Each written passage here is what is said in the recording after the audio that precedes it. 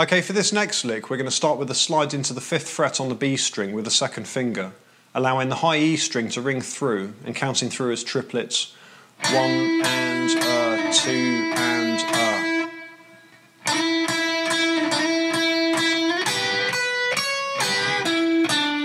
Then in beats 3 and 4, another double stop, bending up a quarter step on the flat 3 at the 8th fret B string, whilst fretting the high E at the 7th fret. Then 7 and 9 on the high E string. Back to the double stop. Followed by 9 and 7 on the G string. So from the top, counting through as triplets.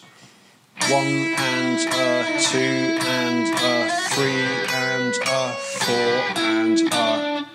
In the second bar, we're going to slide into the 4th fret G string with the second finger. Fretting the 3rd fret B string with the first finger back to the G string, sliding back to the second fret, pulling off to open, and then to the root note on the second fret D string. Just being careful to mute off everything with the first finger on the fretting hand there.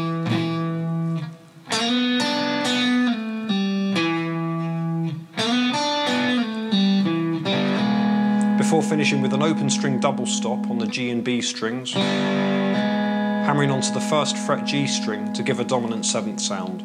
Let's check it out play through slowly.